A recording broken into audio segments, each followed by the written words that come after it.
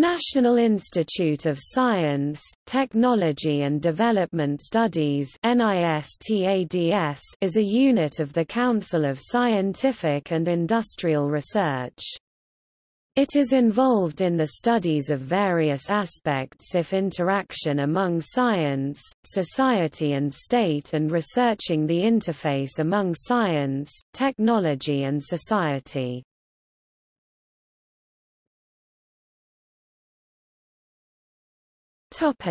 History In August 1973 the Council of Scientific and Industrial Research CSIR set up a center for the study of science, technology and development at its headquarters. On 30 September 1980 the governing body of the CSIR approved the autonomy of the centre and that it could have its own budget. The centre's objectives would be the same, but it would be autonomous, headed by a scientist who would be a director of a national laboratory and have its own infrastructure. The present name, i.e., National Institute of Science, Technology and Development Studies, came into effect on 1 April 1981.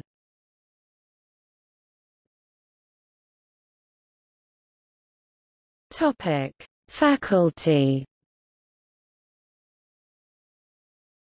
The current faculty consists of 45 members, including the director and 14 women. There is diversity in the fields of the members, with 35 having a degree in science or engineering, and the remaining 10 members are from the social sciences. Students enrolling themselves to obtain PhD degree, get so from different universities. There happens to be a visiting scholars program wherein research fellows from India and abroad are hosted at the institute.